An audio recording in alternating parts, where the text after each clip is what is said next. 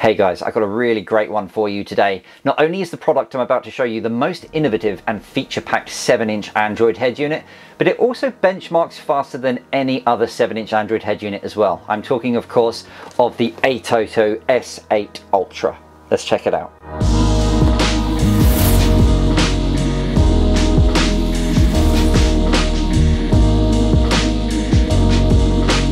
Now, if you don't know who ATOTO oh are, you probably should. They are pretty much one of the most well-known Android head unit brands. And one of the reasons for that is because they actually sell their products on Amazon. And that means that you get that added benefit of retailer warranty. And you only really get that when the manufacturers themselves actually trust their own products because they know if you're not happy, you're just going to return it.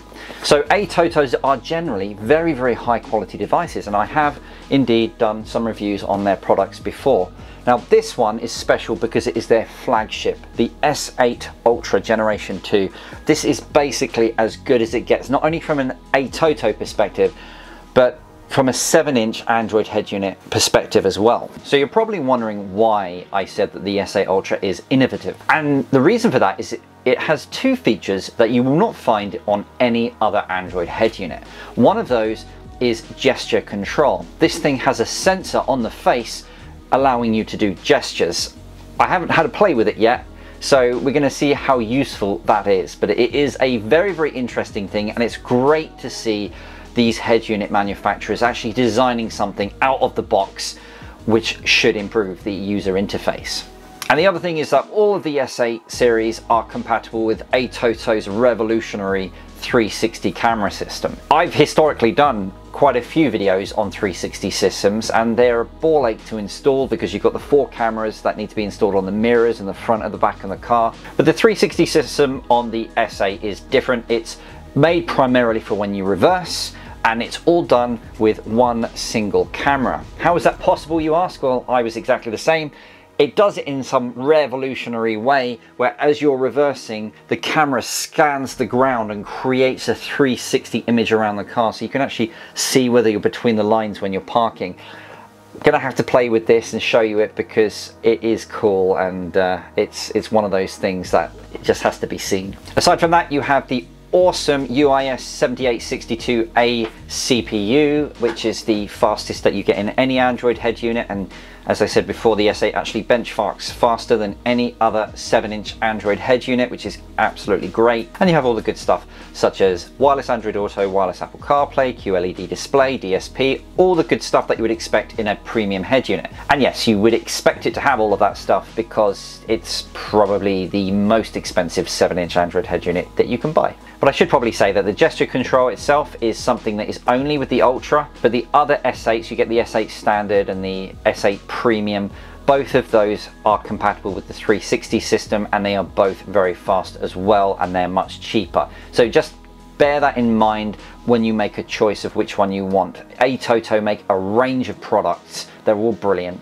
Just buy to your budget. The other optional accessory that I'm going to be looking at with this particular head unit is the ATOTO TPMS tire pressure monitoring system. That is these four little adapters that you screw onto the tire valves on your car on each wheel and it feeds information to the ATOTO head unit to show you what the pressures are of your tires. Nice way to modernize your car. And you may notice that both of these optional accessories actually bear the ATOTO logo and that makes ATOTO a little bit different from some of the Android head unit manufacturers which only supply generic Android compatible accessories. Let me just remind you this is not a paid endorsement. I do not get paid to endorse any company or product. This is just me checking out a new product and sharing it with you guys. Okay, let's have, go and have a look.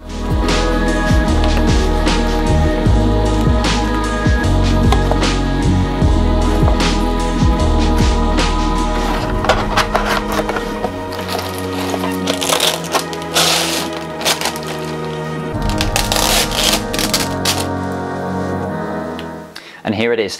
Now you're going to see how this is very similar to all of the other ATOTO oh products in which they have these lovely physical buttons along the bottom here and they really add some additional quality to the device. But what's different with the S8 Ultra is that it has additional bits and pieces on the left hand side. So what we have is a SIM entry point because this thing has built in 4G mobile data. Then you have a micro SD card slot. You have a 3.5 millimeter auxiliary input and a built-in microphone. And then yes, what you have here is a sensor for gestures. This is something that you won't find on any other Android head unit. It is something which is specific to this, so I can't wait to get this in the car and see what this does. And then down here we have a reset button. Let's have a look at the other side. So what we have up here is the 4G mobile antenna. We have a GPS FAKRA connector here. And over here we have a bunch of RCAs. So we've got subwoofer pre-out, front video in, rear video in, video and audio auxiliary input here and then you've got front and rear left and right audio pre-outs here so you've got in total five RCA pre-outs front and rear and subwoofer here. Over here we have the sockets for the USB inputs. And look at this, ATOTO have also given us a SPDIF digital optical output as well.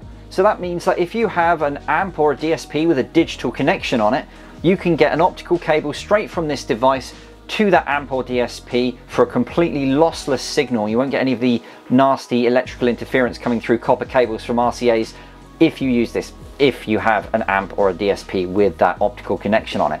That is a really premium feature. Then down here we have a Wi-Fi FAKRA connector. We have the mic input here. We have the aftermarket steering wheel interface here, which I've shown on my channel before. And then we have the main loom entry point here. So also in the box we have some very comprehensive manuals for USB ports. I think that's the most amount of USBs I've ever seen on any Android head unit. So you get four USBs with this. The Wi-Fi antenna, 4G mobile network antenna, GPS antenna, some brackets, some bezels, some screen protectors, which is a nice touch, and three main loom options, which is really nice. So you've got the cut off ends one here, which is good for the States because you guys over there for some reason don't have any standard system for car radios. So you can just find which wire you want and splice it in manually here. And then you've got two with the standard ISO connection on, A and B. And the only difference between these two is that the red and the yellow wires, which is the permanent 12 volt connection and the ignition live 12 volt connection are swapped one to the other because some cars are wired differently from others. So they're giving you two different options. If one loses your settings every time you restart the car, use the other wire and that will solve the problem. Well, they literally give you everything that you could possibly need. Now, if you're in the USA, these ISO connections are not going to be included unless you ask for them. So just bear that in mind. If you buy the ATOTO oh oh unit and you'd like to have one of these ISO leads, if you contact ATOTO, oh they will sort you out. Okay, you've seen it. Can't wait to get it in the car. Let's go and do that now. And here it is installed in my Saab 9-3. And along with the S8 Ultra, I have also installed their awesome 360 camera system and their DVR dash camera and their TPMS tire pressure monitoring system as well. So this is like the whole kit installed in this car, but I'll show you those accessories in the features section a little bit later. But for now, let's switch it on and see how long it takes to boot up. So it's on now. And there we go, straight away. And as you would expect of a head unit of this cost, it does have a very quick boot up time. Now before we start talking about the launcher and the software etc let me just have a quick word about the screen itself. It has an absolutely beautiful QLED display, it, it really does look fantastic. And saying all of that and the screen is still only 600p of resolution which is a testament to say that the resolution is not the be all and end all to get a good quality screen. Although I will say at this price point it is a shame that ATO didn't add at least a 720p resolution screen. And along with that you have these typical physical buttons from ATOTO, adding that additional quality to the actual whole unit. Now let's talk about ATOTO's awesome launcher software. So let me just pause this music. So what you're looking at now is not standard. How it normally comes is like this. What you have is you have a radio widget up here or you might have the local music widget up here for local music. You get to choose icons up here and icons down the bottom. Very, very simple stuff, very functional, works fine, right? Because these are real widgets, it actually allows you to add whatever widget you want and as you can see on the second page here what I've done is I've gone for a Spotify widget here so that I can uh, sort of play my music and have my Spotify app right on the dashboard there.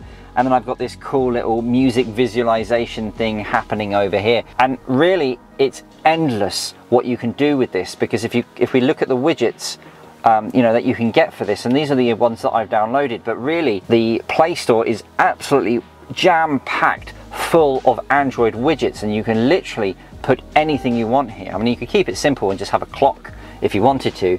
But come on this is the beauty of android and the fact that they've allowed you to put widgets on the dashboard like absolutely beautiful beautiful thing. And i'm very happy with the way that that looks. So having a look at the dashboard here everything on here was totally customizable.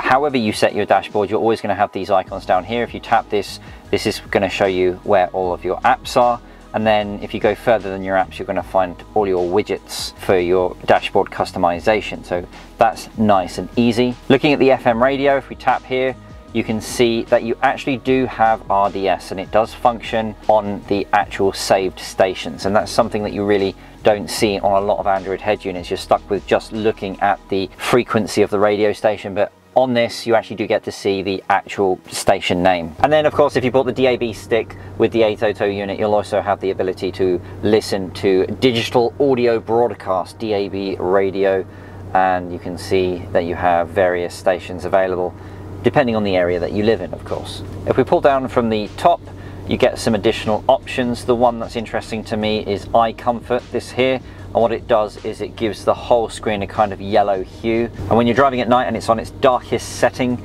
sometimes even then uh, whites can be quite bright so what this does is it just takes the edge off of the white and makes it more comfortable for nighttime driving which is very very nice so let's have a look at the settings now this is one of the things I really like about ATOTO. This is not a standard Android automotive menu. Like this, this is being designed by their own development team and it has been designed with the customer in mind. And that's really important and it just makes using it a breeze because everything that you want to access, everything you want to find is just so easily found in these menus. Everything is very clear and intuitive. That goes for the steering wheel controls, which are obviously something that you're all going to want to know about. Set up steering wheel keys here, and it's simply a matter of pressing a button on the steering wheel and then pressing the corresponding button on the screen here and it saves it and, and that is it. And then changing the colors of the buttons down here is simply a matter of going into panel illumination and choosing what color you'd like it to be. Obviously I've got it green because that is what is the color of inside this Saab. So let's talk about speed. This has the amazing octa-core UIS 7862A CPU and that is the fastest Android head unit CPU and the S8 Ultra here benchmarks faster than any other 7 inch Android head unit that I've tested. So it is literally number one for speed. It does also have 4 gigabytes of memory. The next point of call is of course to run our normal speed test, which is running everyday apps and seeing how long they take to actually load, Spotify and Waze. Let's do that now. Spotify practically instantaneous and that's exactly what you would expect with this particular CPU in this. It is very, very fast head unit. And then we'll do Waze as well. I mean, it would be barely be faster if you actually had the thing already loaded into memory. Is that fast, so very quick, and that really shows you the true power that is in the S8 Ultra. It is truly one of the most powerful Android head units that money can buy. Right, let's talk about features because the S8 Ultra does actually have quite a lot. We'll start with the basic functionality of an Android head unit, and that is the fact that you do actually have the ability to uh, watch a bit of YouTube or a bit of Netflix because obviously you can install whatever video apps that you want on here. But also it's compatible with the HD DVR or the dash cam system. If I hit this button here, you'll be able to see the front of the car. And this is where you'll actually be able to review all of the recordings and such in the actual car itself, a bit like a Tesla. Also, we have their built-in TPMS system. As you can see, you can see all four of my tire pressures here in PSI, or you can have it in bar if you prefer. But the point is, in the event that one of the tires drops below a specific pressure, it will basically send a warning on the screen that we need to do something about that. So that's a nice cool feature that you only really get on more modern cars and you can get it with this ATOTO unit as well. So there's two major features that I've never seen on any other Android head unit. One of them is the gesture control and the other is the emulated 360 parking, both of which I'm going to show you now. So the best way for me to show you the gestures is by actually using them. I've already set up certain actions for each gesture, so watch and see what it can do. So if I want to go backtrack or forward a track,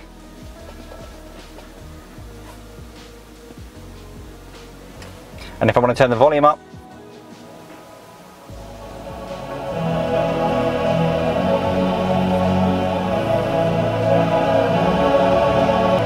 down,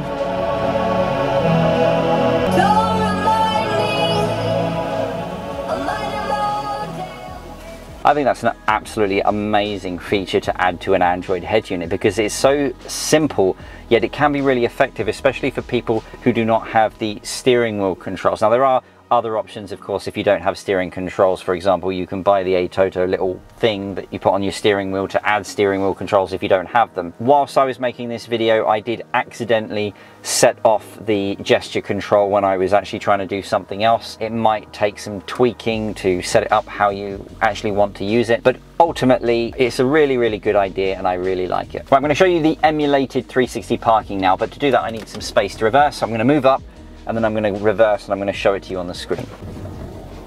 Okay, so pop the car into reverse and what you can see is it has a normal reverse camera and then it has this sort of image here with the rear of the car and then all of this blackness. When I start reversing, you will see that it will start to build an image around the car. And this is a really good way to find out whether or not you're inside a parking space. No more wondering, is it in yet?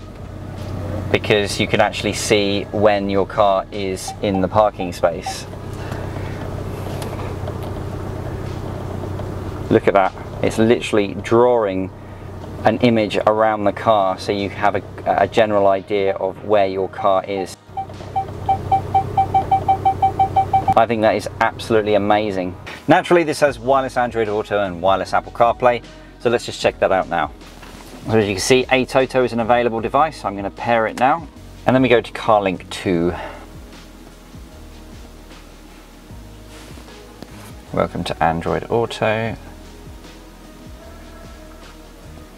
And there we go. Perfect. Right, it's playing music now. Let me just pause that. So there we go. We've got full access to Android Auto. Everything is exactly as I want it. All of my apps are just here so that's absolutely perfect. Okay let's see if it's that simple with Apple CarPlay. So just find ATOTO in the Bluetooth settings and connect to that allow now we go to CarLink 2 again. Waiting for device to connect connecting. On the phone it says use CarPlay. Yep let's use CarPlay. Verification approved and there we go, nice and easy. Everything's working exactly as it should be. Full Apple CarPlay, again, completely wirelessly from the phone itself, and it was very, very simple to connect. Literally just connect it via Bluetooth and it works. Okay, let's talk about sound, which is something that the S8 range of ATOTO units actually do very well indeed. So if we pop the top down here and go to equalizer, and you can see that it has a 16 band graphic equalizer. And the beauty of this is it actually allows you to set separate equalizer settings for both the front speakers and the rear speakers of the car, which is cool. You also have presets up here if you don't want to you know mess about with your own equalizer settings you can just choose one of the ones that they actually have supplied for you. It also has time correction so you can set individual delays to the speakers to get that sound that you're looking for. And you also have a rear speaker boost here. Under bass boost you have the option of choosing a specific frequency and you can boost that one frequency specifically for the front or rear of your car. So you have that control over front and rear as well, which is great. And you'll see this button up here that says sub and that will give you the frequency control of the actual subwoofer as well in a nice graphical way. Sound field is just your standard fade and balance. And then you have crossover functionality for, again, your front and rear speaker systems separately as well. So all in all, you've got tons and tons of control from a sound perspective. The amplifier and the DSP chips that are built into this are top quality. It sounds amazing, really does sound very, very good indeed, as you would expect for a flagship unit from ATOTO. And that's pretty much it when it comes to the ATOTO S8 Ultra. If I've missed anything, please do ask in the comment section below and I will see what I can do about answering your questions. If there's any other Android head units that you'd like me to have a look at, please do ask and I will do my best to do that for you. And of course, if you like this kind of content, please do subscribe because I've got tons of other head units that I will be reviewing in the near future.